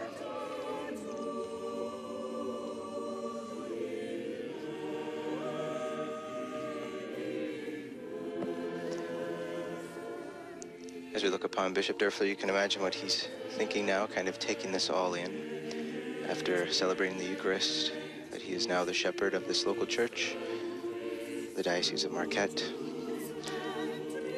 I'm sure he's praying real hard right now, asking the Lord to help him in his ministry, fill him with the Holy Spirit, to be a good a holy shepherd, a good leader, especially today calling upon the intercession of the Blessed Virgin Mary to watch over him. I'm sure he's entrusting his ministry to her intercession and prayers, asking her to keep her close to Jesus, her son, that he might be a good leader laying down his life for his flock.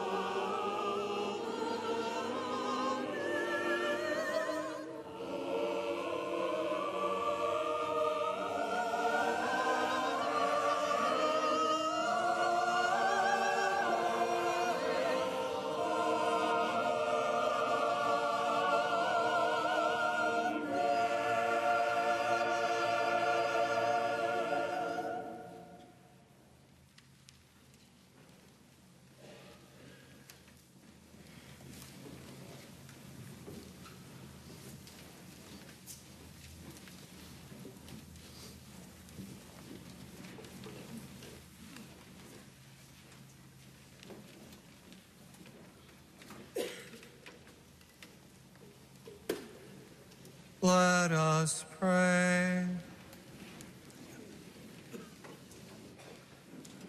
Complete within us, O Lord, we pray, the healing work of your mercy, and graciously perfect and sustain us, so that in all things we may please you. Through Christ our Lord.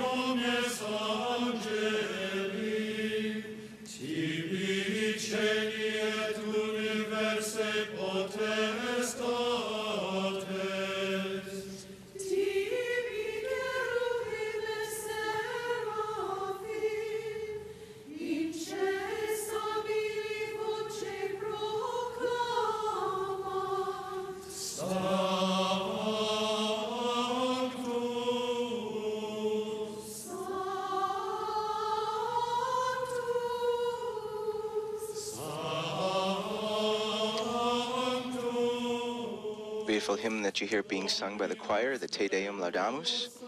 Great hymn to the most holy Trinity, Father, Son, and Holy Spirit. Often sung at the beginning of a new year, a day of great thanksgiving in the church, like this day is with the installation of our new bishop.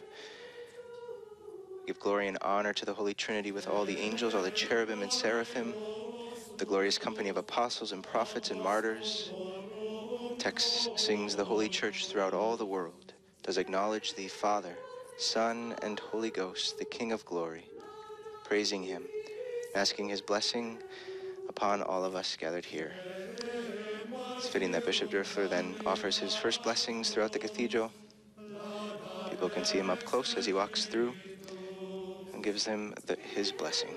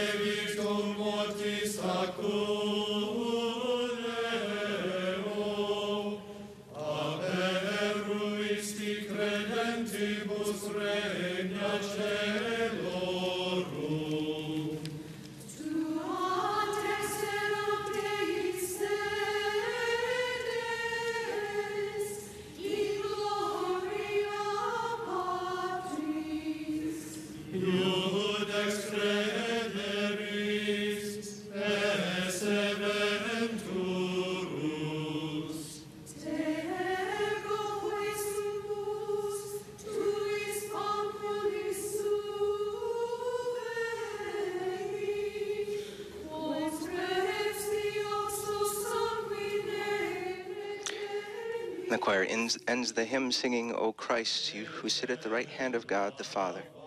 We believe that you shall come to be our judge, and therefore we pray thee help thy servants, whom you have redeemed with your precious blood. Make them to be numbered among your saints in glory everlasting. Amen. There, Bishop Doerfler giving his blessing to his mother. Special blessing for mom and his family.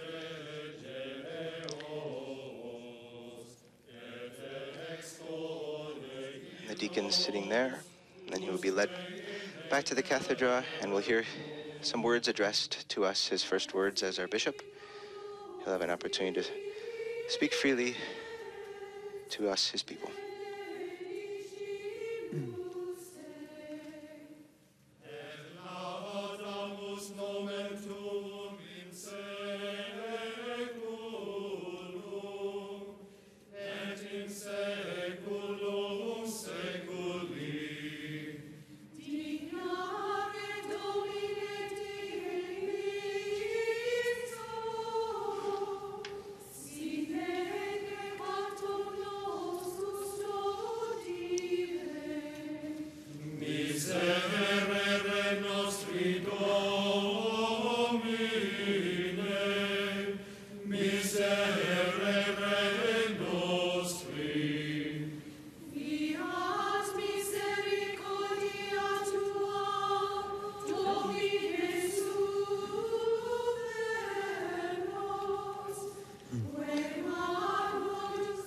Shot there of Bishop Doerfler as he just has given his blessing to all gathered here.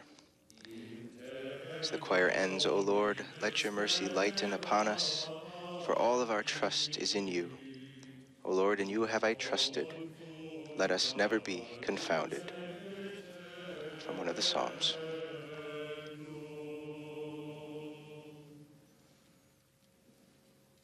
And now. You may be seated.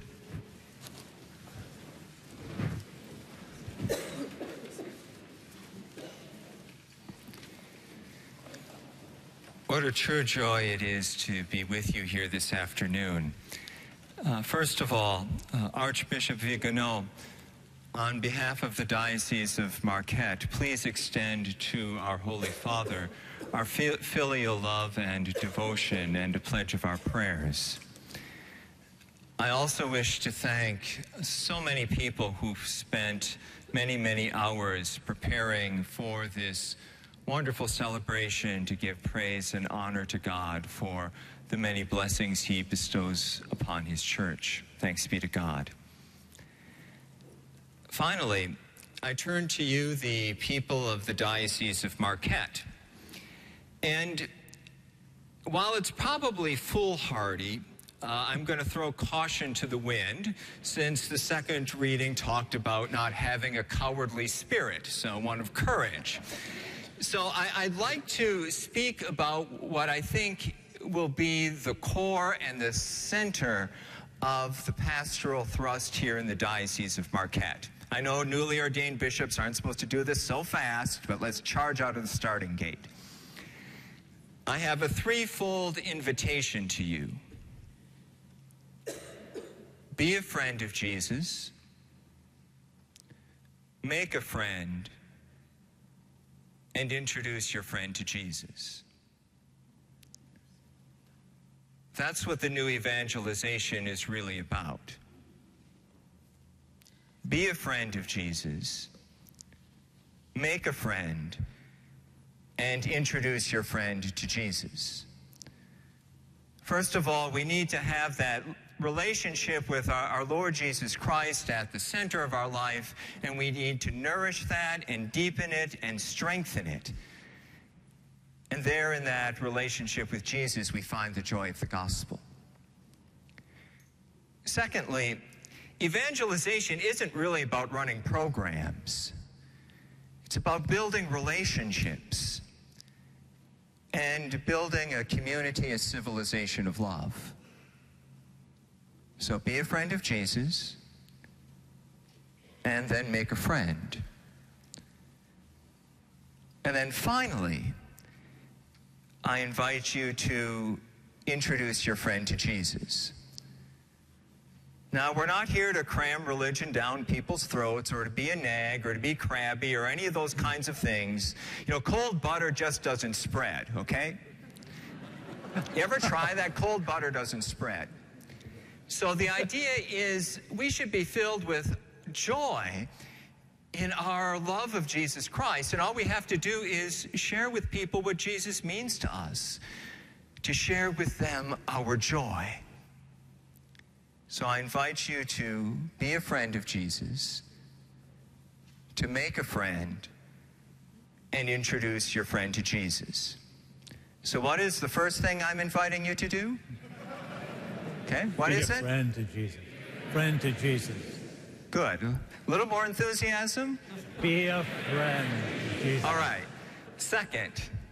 Make a friend. And then third. Introduce your friend to Jesus. Do you accept this invitation? I do. Good. Wonderful. That'll keep us busy till Christ comes again in glory. Amen. Thank you to you.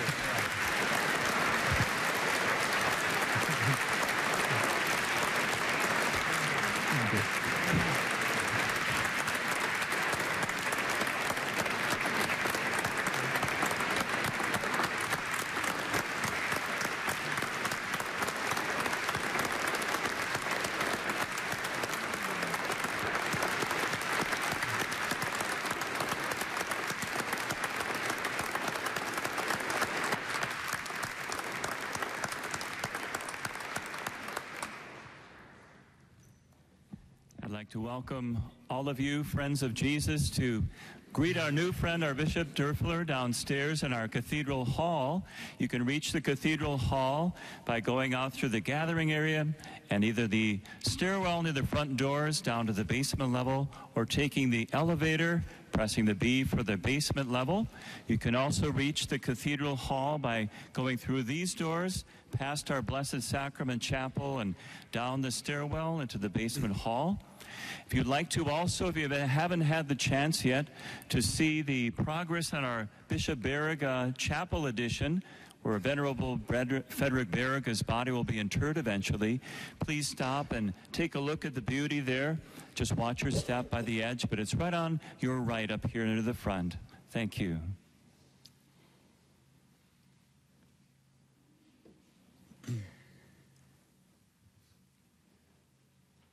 The Lord be with you. With your spirit. Bow down for the blessing.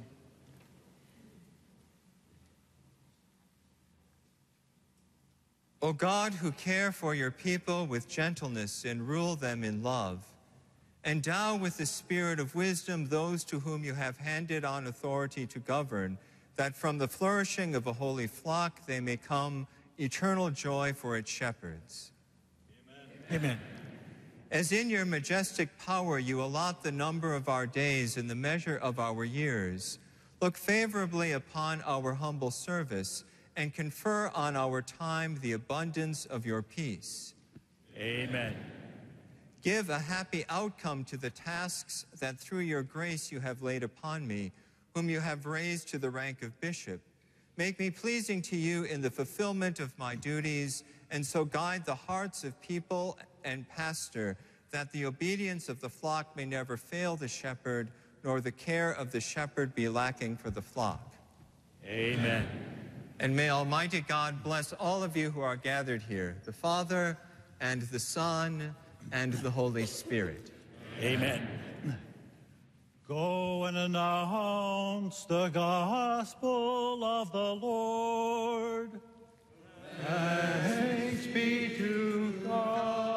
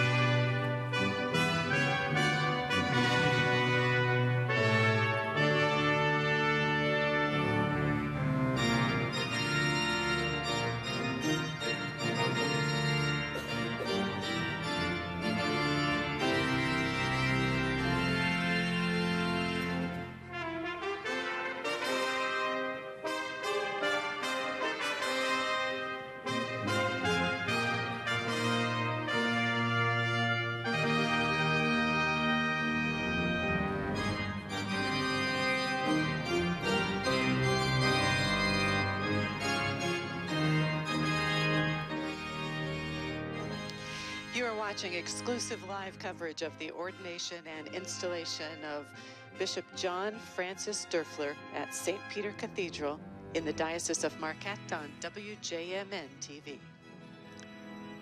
As we see all the priests leaving, recessing out here, just remind you that there is that reception from now until Bishop Doerfler greets the last person who wants to see him. Uh, right after the ordination here downstairs at St. Peter Cathedral, light refreshments afterwards, and uh, many of the priests will stay after, and beautiful gathering of all the people from around the diocese here. A great joy-filled celebration, uh, smiles on everybody's faces. It's wonderful to see. You took the words right out of my mouth. It has been a very joyful, grand celebration, but a very moving celebration too, with the applause and the, the laughter. Uh, very welcoming uh, atmosphere for him into the Diocese of Marquette, but also from Bishop Doerfler, uh, welcoming uh, the people who are here today and those who perhaps are not in uh, practicing uh, their religion lately to, to come back into the church and, and to, uh, as he said, short, sweet, and to the point, be a friend of Jesus, make a friend, and introduce your friend to Jesus. We all have that down now. And they often say that uh, the greatest day of a, a, priest's life and the greatest day of a bishop's life is the day he's ordained because it gets much harder the day after to continue that uh, ministry. So everyone who's watching here and throughout our the rest of the coming days and years of Bishop Doerfler's ministry. Continue to pray for him every day and ask God to uphold him in his ministry and the good times and the bad, just like uh, a husband and wife vow to each other to be faithful, good times and bad, in sickness and health, and, and until his dying days. So we ask uh, Lord to continue to bless him each day, be faithful in his ministry uh, as our bishop.